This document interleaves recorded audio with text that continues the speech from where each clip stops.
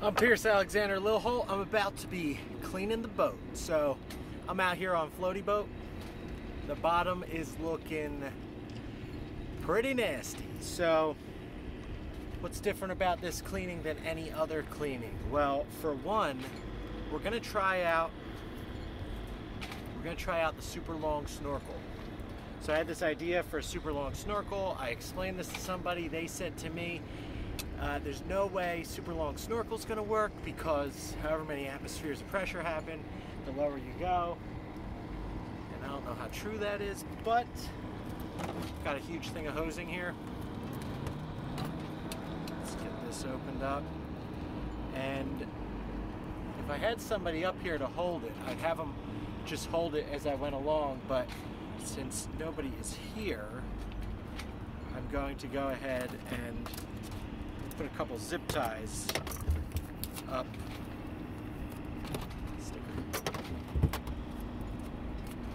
Um, put, a, couple zip ties up on the uh, top of it.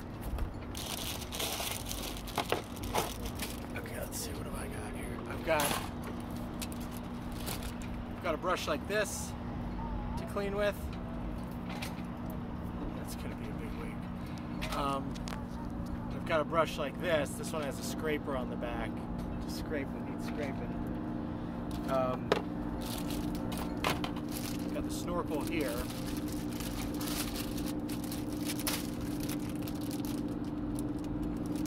It's a Cressi.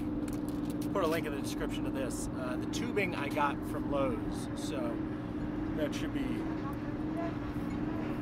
that should be pretty good.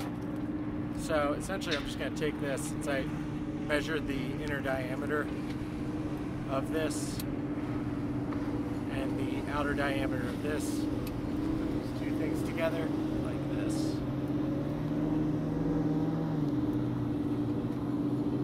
Go kind of deep on there. And you're probably thinking, oh, is this uh, going to be airtight? I, my guess would be no. So I think I even have some right here.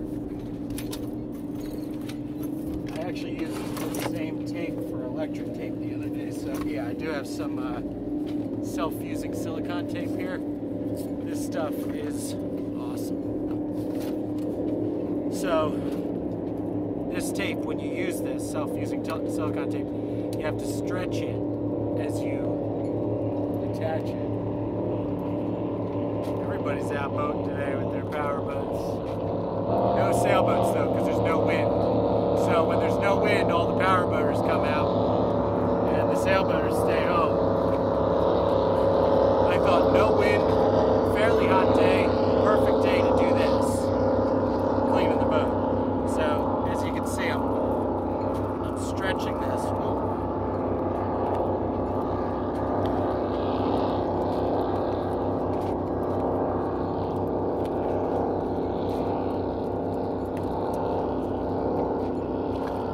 stretching it.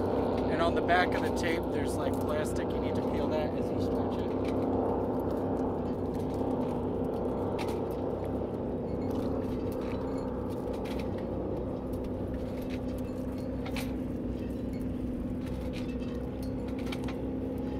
I started a little high on it, so it would, um,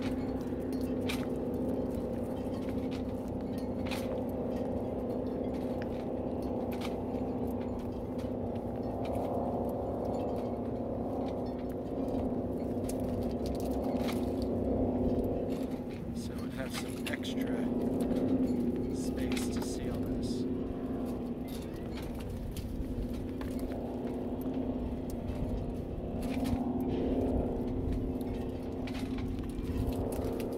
I'm gonna go a little low. Drop this over. We're rocking.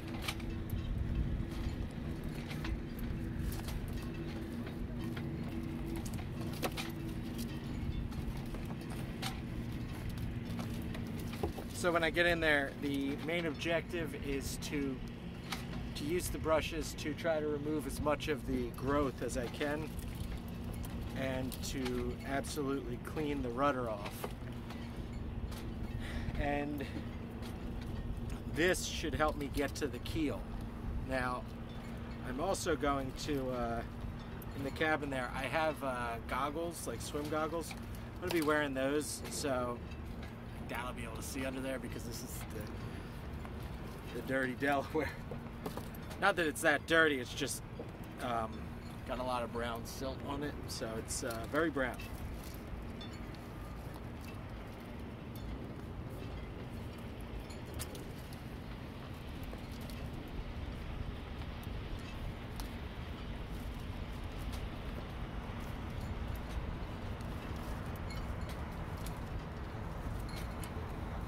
I'd say that's probably overkill. So I'm just gonna save the rest of this tape for something else. Cut it. And then this last little bit, you're gonna wanna really, when you wrap this, you're gonna want to make sure this is super tight.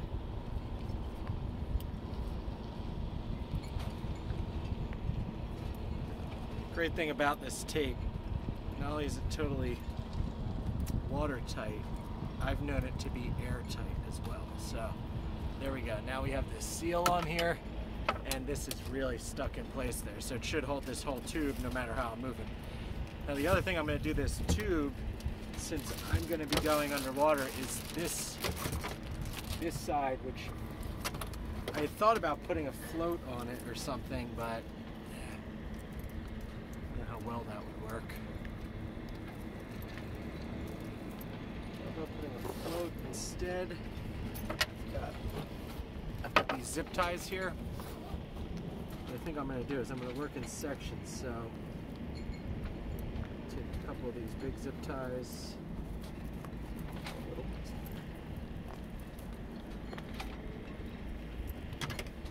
I'm going to zip tie these around the top really, really, really, really tight. As tight as I can. It doesn't seem like that's sliding up or down at all. And I'm gonna make a few rings of these. So if one does happen to slip, it'll get caught by the next one. This last, this last one I'm gonna put a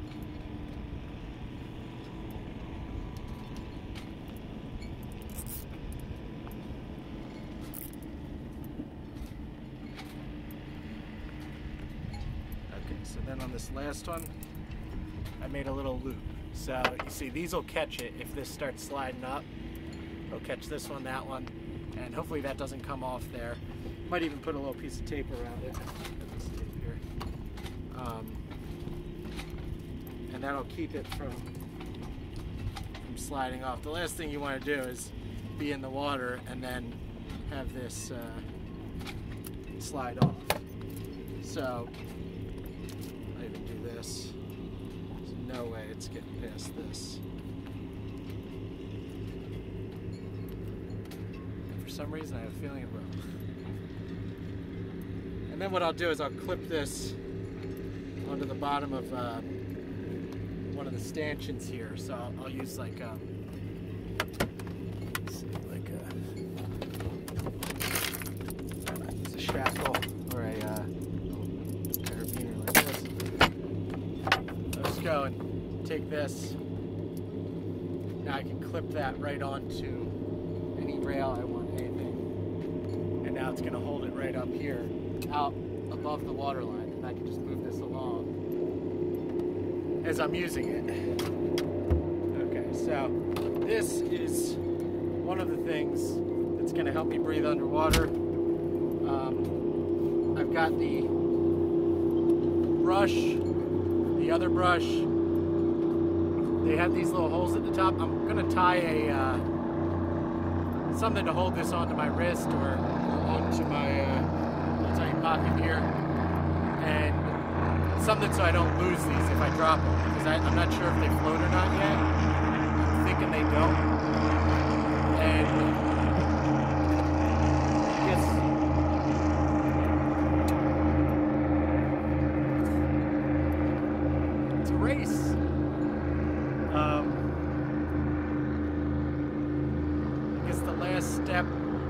actually two steps. One will be to go into this hatch here.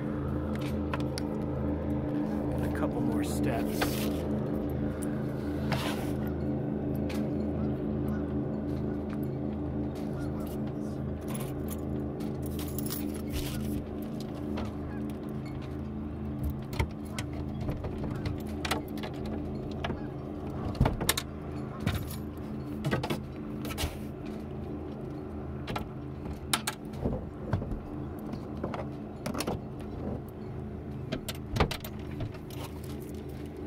This step will be to, I was gonna say cut some line, but this might actually be just about the right size of line in order for us to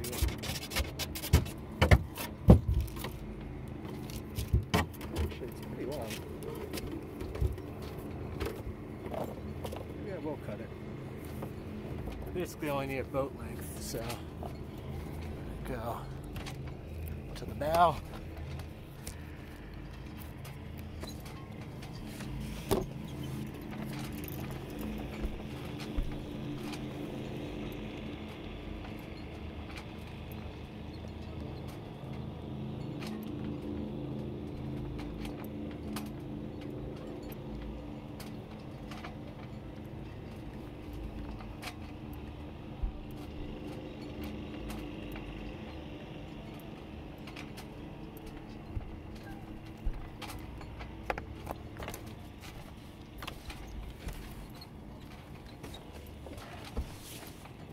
All right, now I'm back here at the stern. I want to make sure this goes at least the full length of the boat.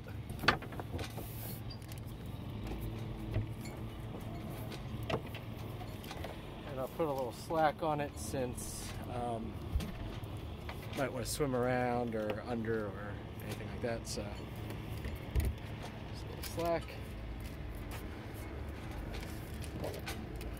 Cut this line like this knife blade for cutting lines. This is actually just an anchor line. And I don't usually uh, do anything with the end here besides to keep it from fraying, I tie a little single hitch right there. Just that. It's not gonna fray past there. Okay, so now that line is ready for swimming. And I'll probably end up, uh, I don't know, tying a little loop or something always do like this knot.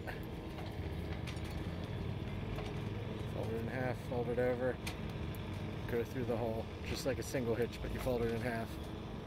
So you know this knot where you just do that and pull it through.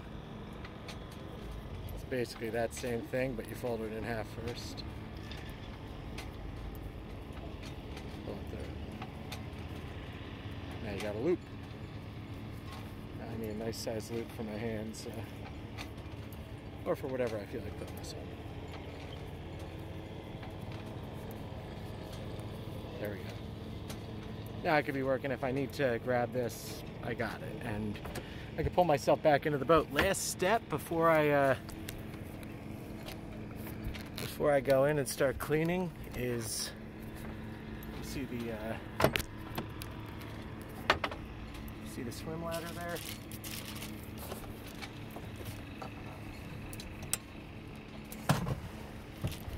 Goes in. Actually, there is one last step.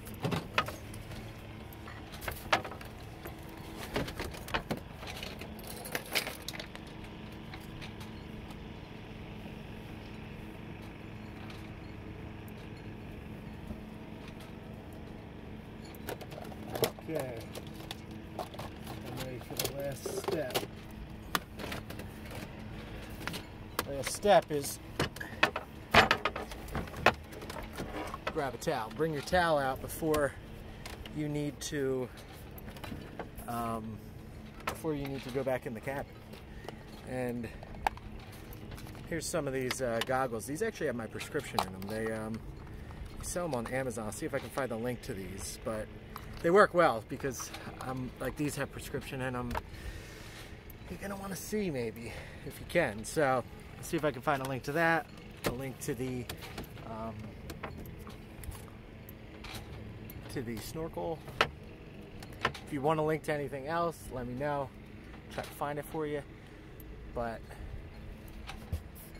I think now it's time, I bet you thought this was an old-timey bathing suit. It's actually just a shirt. And that's a James Bond bathing suit.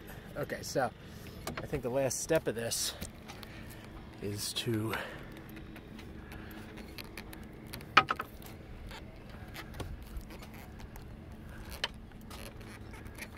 get wet.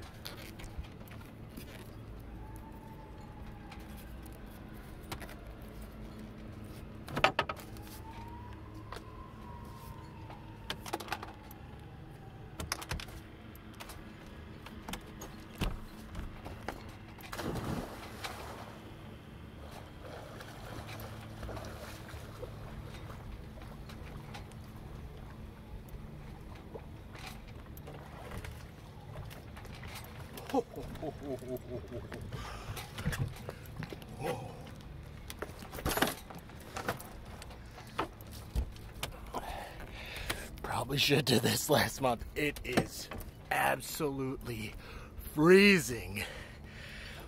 Whoa. But I was prepared for that mentally. oh, yeah.